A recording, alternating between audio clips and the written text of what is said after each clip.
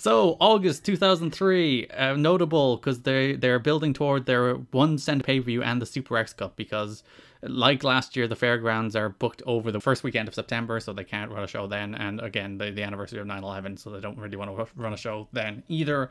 So TNA announced officially this week that September 10 will offer a best of TNA show at a cost of just one penny. As reported first last week, TNA and the cable companies believe it will help lure new, in new customers if they expose them to their product. Because of TNA's limited syndication clearances and lack of any national cable clearance, they rely on publicity on the internet, cable satellite bill inserts, commercials, and word of mouth to sell their weekly pay per views. That hasn't really worked as they're still only sell- selling about 8,000 to 16,000 a week on average. It's not too bad.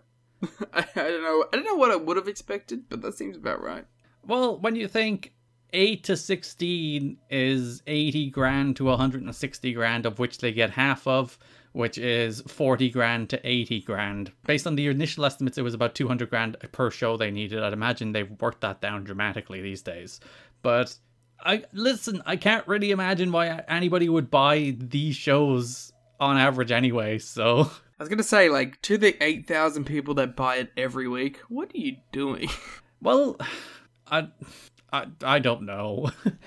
it's it's not that expensive. It's 40 bucks a month for 8 hours of entertainment. I guess that's that's not the worst. I don't know. I don't know if I would pay a $40 a month streaming service that showed four shows. Well, it was it was a different time. You have to compare it to oh, like, here we go. The classic Garrett defense of anything wrong. It was a different time. But no, you do have to compare it to what the market was at the time, which was not a 9.99 streaming service for a bundle of content. Instead, it was the same $40 price tag for a single 3-hour WWE pay-per-view. So that's like the price comparison. So you're getting 8 hours of TNA for the same price you're getting 3 hours of WWE. Okay, but the point you're not considering is that most of the time it's terrible. And like I again, we've talked about this plenty of times. The biggest issue with these shows is they are booked like television instead of booked like pay per view. So you get stuff that just builds the stuff, and they're perfectly fine doing DQ finishes, and they're perfectly fine with weeks that just don't have like big hooks or big interesting matches. Though that's not really the case this month. To be fair, there's a bunch of stuff on these shows. Like there's AJ title matches on three of them. There's the first Ultimate X. There's the big Gauntlet match. So th- there's not many shows this month at least that have absolutely nothing going for them, like, there were in some previous month, where it's just like you guys charged people nine ninety nine for this absolute heap of garbage that's not even like trying to deliver on that value.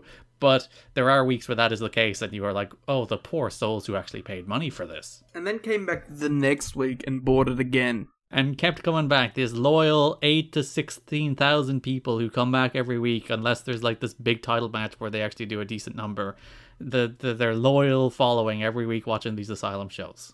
Mm. Stockholm syndrome, being abused by NWA TNA. The beginnings of the same relationships we see nowadays with WWE fans. Well, yeah, now we just root for brands like we root for sports teams, and who cares if it's bad? It's just my personality to like it. I want to be the guy going on forums and being like, NWTNA is actually really good.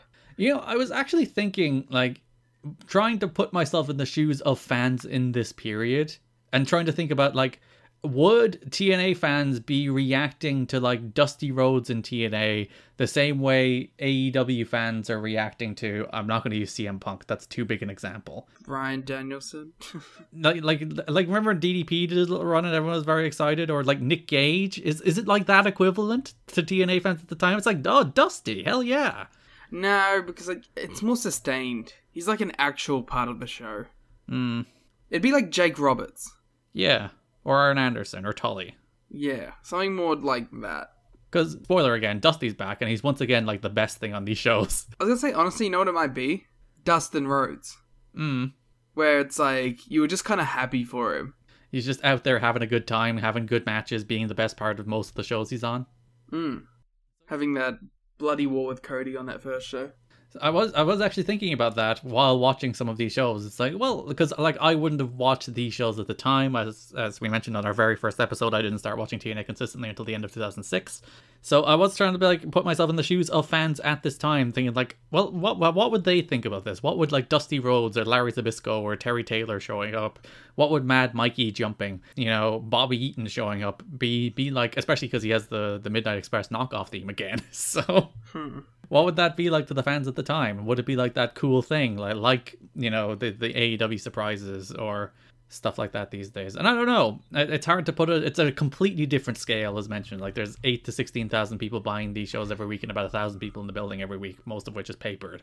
And that compare that to AEW, which does I think on average five and a half thousand and about 800,000 to a million on TV every week. Completely different scales, so it's hard to like match them. But yeah, that was the thing I was thinking about. I think for the most part, people are probably really into it. It, like, it's hard to get angry at a legend doing an appearance Mm. because you kind of just like it's the easiest to turn your brain off and just enjoy this segment thing that you can do. Especially when it's not like in an overbearing, like Great Muta shoving Kaito Kiyomiya down a stair- flight of stairs way. That's not a, a legend doing an appearance. That's a sustained main event push. That is a dude just keeping other people down. So when it is just like Dusty popping up to do cool six man tags and undercard feuds with Glenn Gilberti, and we'll see some main events of Dusty stuff coming in the next few months. But for the most part, he's there to elevate the people around him. He's not there to hold the people around him down. How nice of him. TNA officials are said to be relying heavily on the money for that their overseas television deals bring in to make up some of the losses that the North American pay-per-views are still posting. The word going around is that TNA is banking heavily on the one cent pay-per-view concept scheduled for September to lead to improved pay-per-view sales. I don't know if they should be.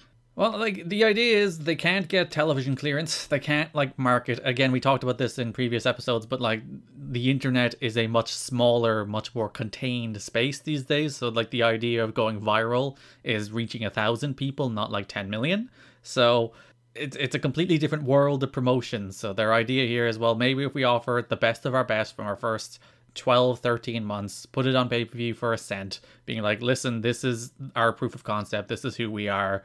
And maybe they can trick people into thinking that's actually who they are instead of like the Dupps and Vince Russo. I listen. I don't think it's gonna have a giant bump. It'll probably have a little bump. I just think you're probably gonna be you're gonna end up losing money on this because you're gonna have like twenty thousand people paying one penny instead of sixteen thousand people paying full price. But they don't have to produce a show, so there's no like overheads for it. I just meant in general if they were to try and continue this concept. Oh well, yeah, that's they just give it away for free, you know. But I think that's like a logistics thing, as we as we noted a couple weeks ago, is that like it's actually just hard to do free at this point. And like, not all the pay per view providers are actually taking the one cent pay per view. Uh, it's in demand that are and Dish or Direct. One of them isn't anyway. One of them is getting a different special for full price.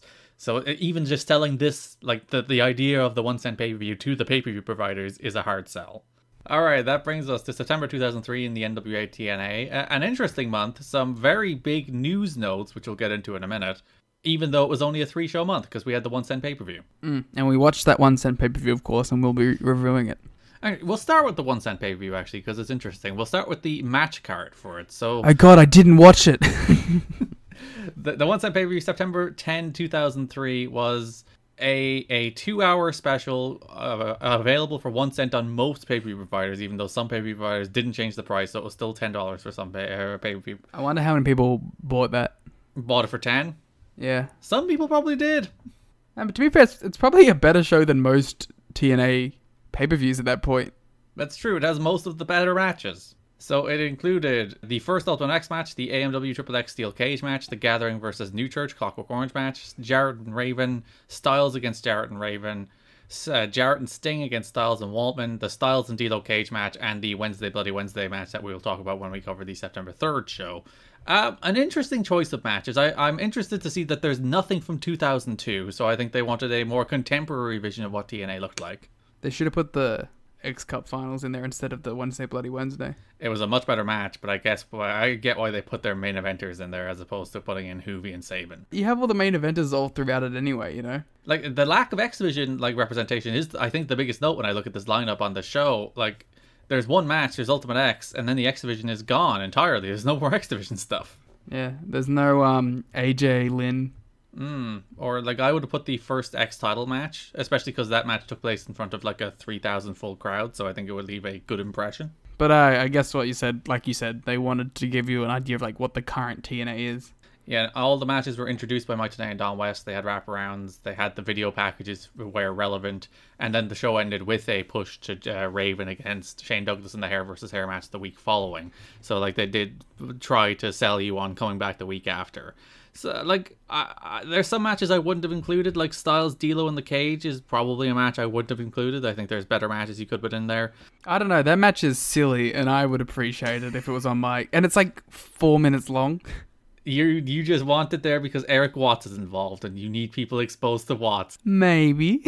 yeah, like you said, you gotta put all the stars on the show. yeah, Russo, you get Watts. Yeah. Gathering versus the New Church. I, I again, I get why it's there and like who it represents and who it represents in the show, but a weird match to include. Even though it is a good match, it's a fun match.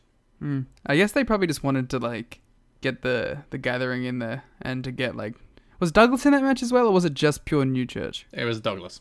Yeah, and to get Douglas on there too it's probably important to get Douglas versus Raven on there in some way, considering the whole end of it was them hyping up the hair versus hair match. This Wednesday, TNA wants to expose thousands, if not tens of thousands, of wrestling fans to their style of wrestling for the first time. To do that, they purchased ad time during Raw on cable systems across the country, plugging their one cent pay per view this Wednesday.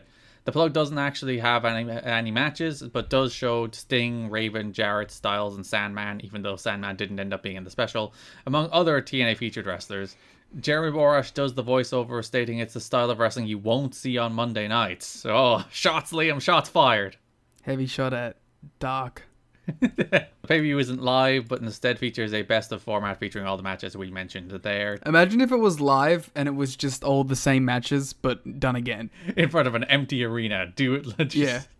No, it's just a very confused group of fans. reenacting each match move for move. I like it better if it's all different mo- matches completely. Like they rework it completely, have different finishes. Or it's like inside the actor studio, but for wrestling, where they'll do the move and then they'll turn to the camera. It's like, so we did this because we wanted you to feel. Mm, yeah, yeah, yeah. I would watch that. Mm. TNA hopes those who see the best of show this Wednesday will be convinced to order future two-hour live pay-per-views on upcoming Wednesday nights. A lot is riding on this week's ad campaign and one cent pay-per-view and drawing future paying customers. wow.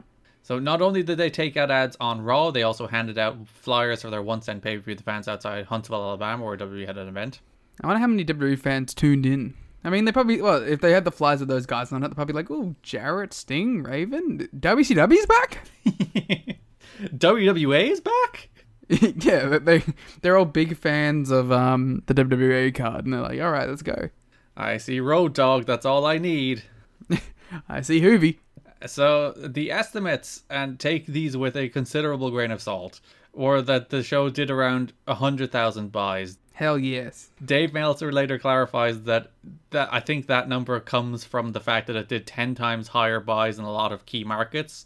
So it, it that that where they usually do ten thousand, they did ten times better. So they're like extrapolating that out to be about hundred thousand. But if they did do ten times better in markets, that's a lot of people buying the show. It, it's at least a decent number of people sampling. Even if obviously if hundred thousand people buy the show for a cent, that means you just made a thousand dollars. Do we ever find out the numbers for the shows immediately after the one set pay per view? There is no nothing in the notes, so we'll see. There was no like rise in attendance or anything, so they didn't get that kind of bump. The attendance was pretty flat afterwards, actually. I I doubt how many people are the how many of the locals are buying that. You know.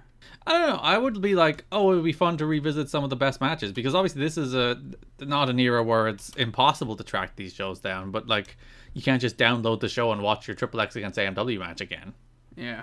They have to do their trade taping with Baby Me. Exactly. They're like, I'll give you this Triple X AMW tape in exchange for your Aja Kong All Japan Women's tapes. And I said, no way, mate.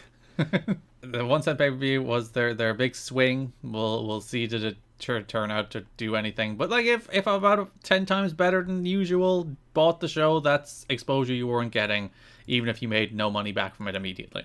Yeah.